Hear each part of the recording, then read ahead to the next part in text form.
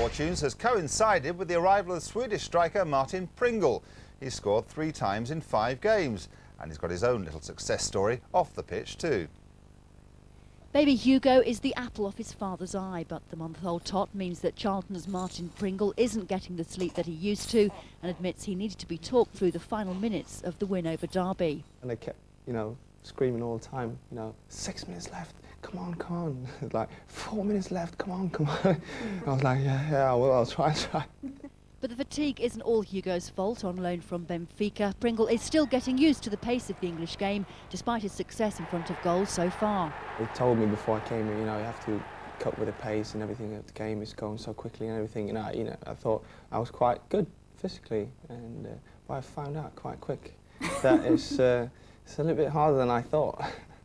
The Swedes' arrival has coincided with a change in fortunes for the Premiership strugglers. His three goals in five starts have helped Charlton out of the bottom three, and he says it's been a huge boost for him as a player. Ever since I came here, it felt like a boost to, uh, in, especially in confidence and everything, especially with the first goal and everything against Newcastle. That, that gave it, me a personal boost because I felt like little bit more confident in the next game when I played and the game after that. So, I mean, I'm growing in confidence level as well. So is he confident then that Charlton can kiss relegation goodbye? I certainly hope so, but, you know, you never can't tell, can you? So, I mean, the next couple of games now is quite crucial for us. This is our room, this is how we live for the moment. So. You could have tidied up. Could have, but you were too quick coming into the room. Living out of a suitcase isn't ideal, and come the end of the season, he doesn't even know where he'll be. But he knows what he'd like. I love to stay.